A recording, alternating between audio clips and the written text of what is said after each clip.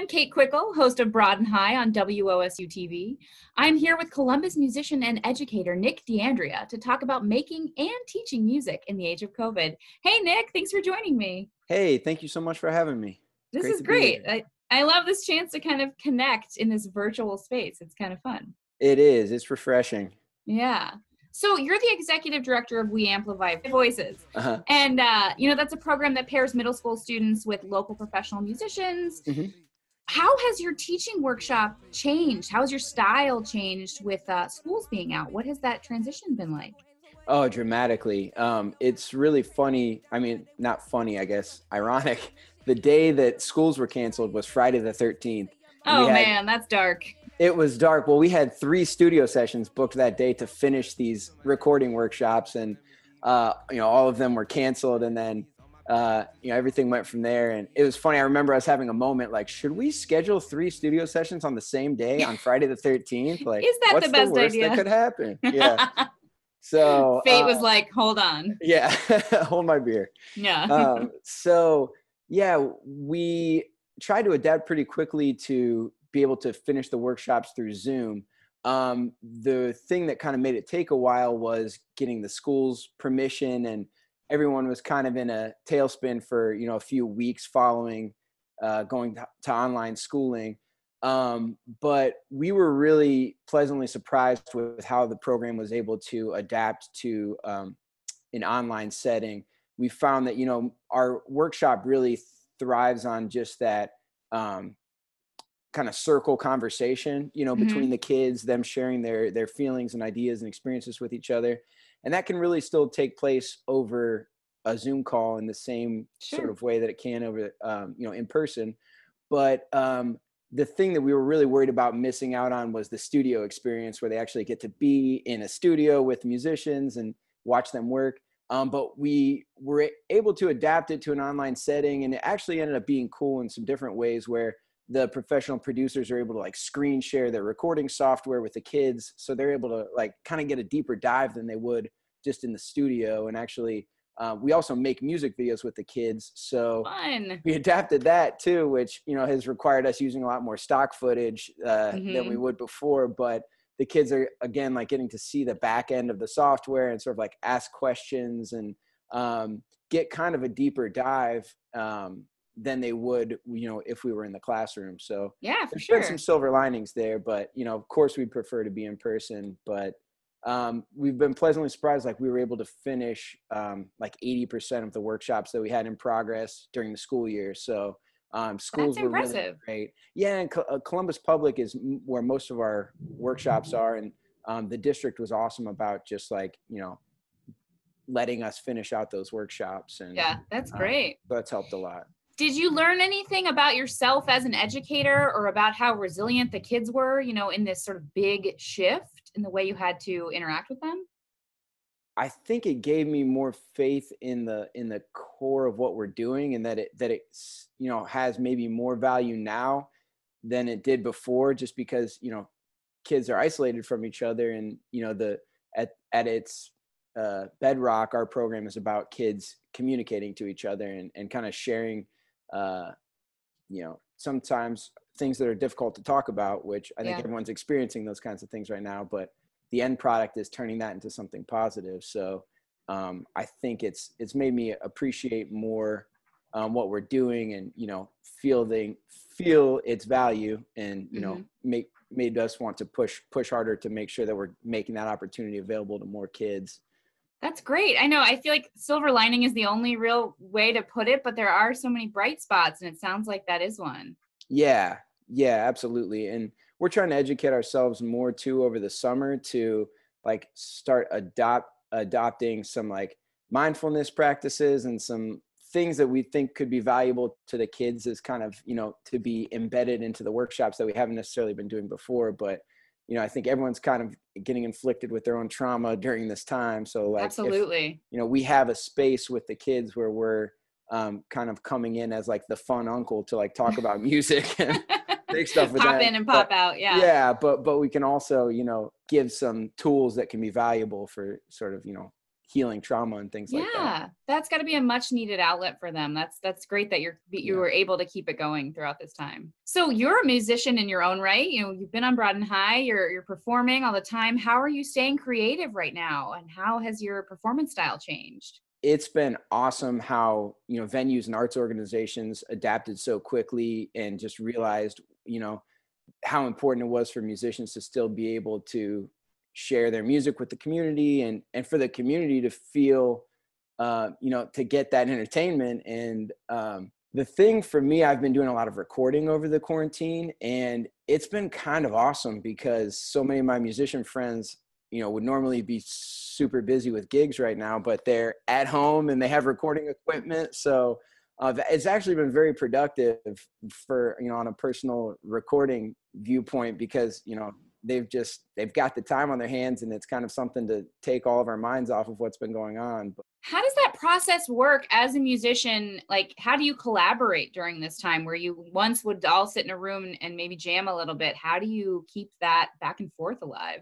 Yeah a lot of a lot of phone calls but um, we're still pretty old fashioned but um, you know, I'll send like a, a, demo recording and then, you know, the drummer will record his drums and then we'll send it to the bass player and the bass player will record and then, you know, I'll put some more stuff down and resend it, you know, so it's just a lot of passing things back and forth. And um, you kind of have more time to reflect than if you're like in a studio and the clock's running and you're like, yeah, done, you know, it's like, it can take a couple days to, you know, think about marinate a little bit.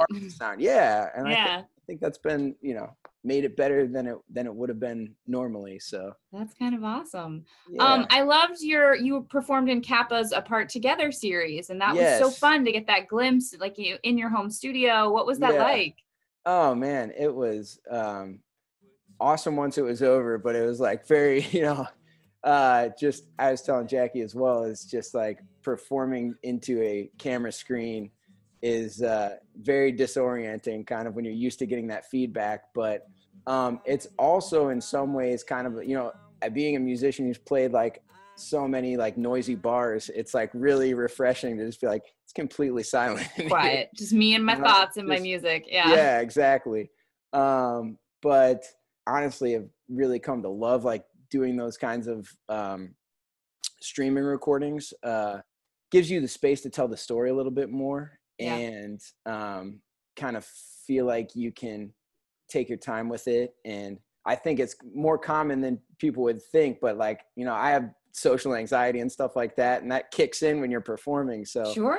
Kind of refreshing to just do it live streaming where you're just in the comfort of your own you. home and in your happy place, you know. Yeah, I feel like just through this interview series, talking one-on-one to musicians, I, that seems like a common thread that that people that we as the audience might think, oh my gosh, he's super outgoing. Look at him up there are actually really introverted and maybe pretty reserved. And I think that's surprising for people. Yeah, totally. I know. That's the half of the job is hiding that, right? right. That's well, you're doing a good job. It seems oh, like you're you. loving it. That's awesome. Getting back to your work with students a little bit, I know that We Amplify Voices has participated in Arts Fest in the past and it's been part of the hands on activities. Yeah. How important do you think those opportunities are to young people right now?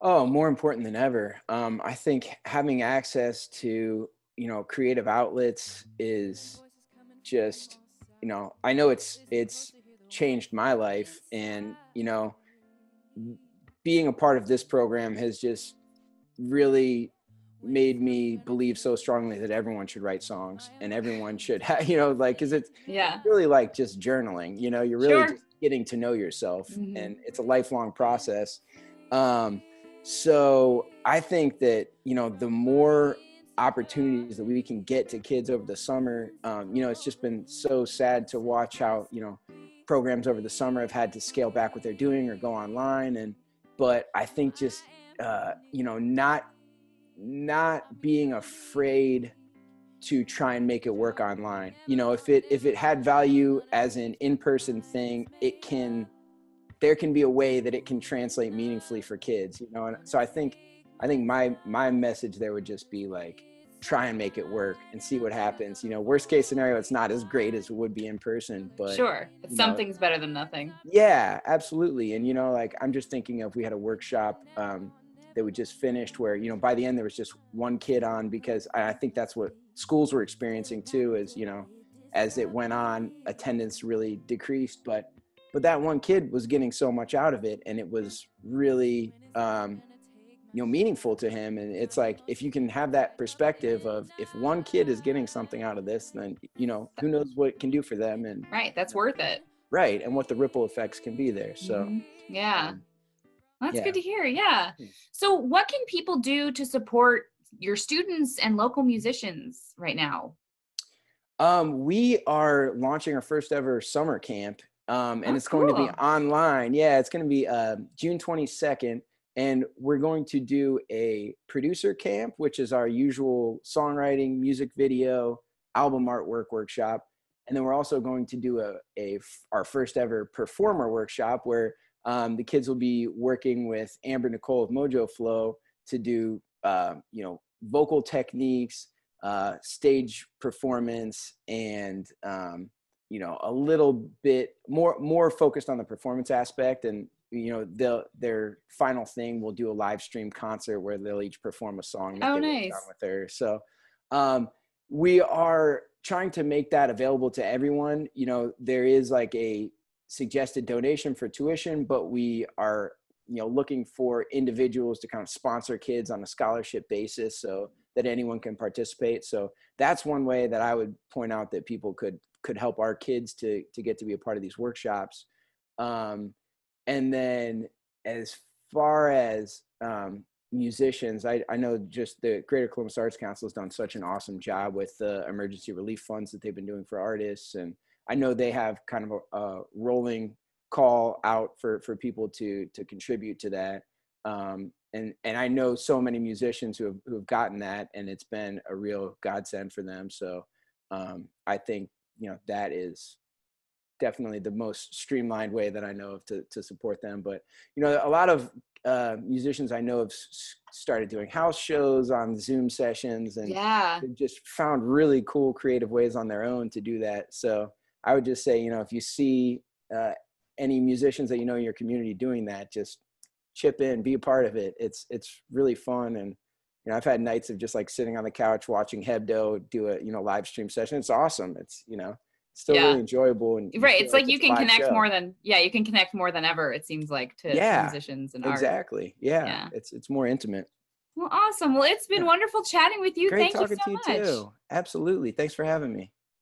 So much pain in my life, I don't even know how to cope, yeah. Speak to my soul, yeah. Or you gotta go, yeah.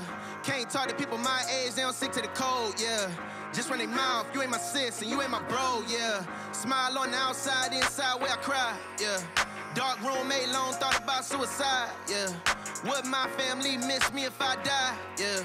I don't believe them, and I don't even know why. I've been so mad, yeah. I've been so mad, yeah. I've been so mad, I've been so mad, yeah. Brody told me go and get in your bag. Mama told me wish I was never had this. Word to call you weak if you ever sad, but I done seen too many getting so tag. Can I be happy? Yeah. Uh, is it that's too much? Yeah.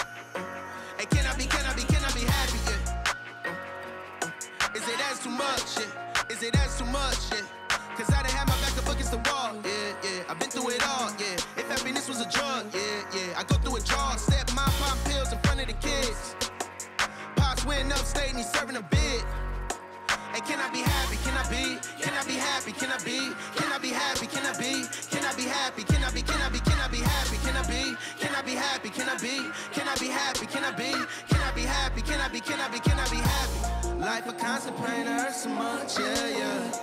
Question every day, am I enough? Yeah, yeah. I don't really know who I can trust. Rain over my parade, I got it out the mud, yeah, yeah. Life a constant pain that hurts so much, yeah, yeah.